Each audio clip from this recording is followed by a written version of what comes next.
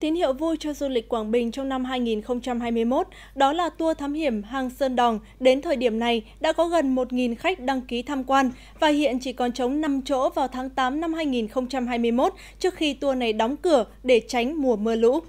Tour thám hiểm hang Sơn Đòn là tour mạo hiểm với mức độ mạo hiểm cấp 6, cấp cao nhất. Mỗi năm tỉnh Quảng Bình sẽ cấp phép cho 1.000 khách du lịch thám hiểm hang Sơn Đòn. Để bảo đảm an toàn cho du khách khi tham quan, mỗi chuyến thám hiểm chỉ được đi tối đa 10 khách.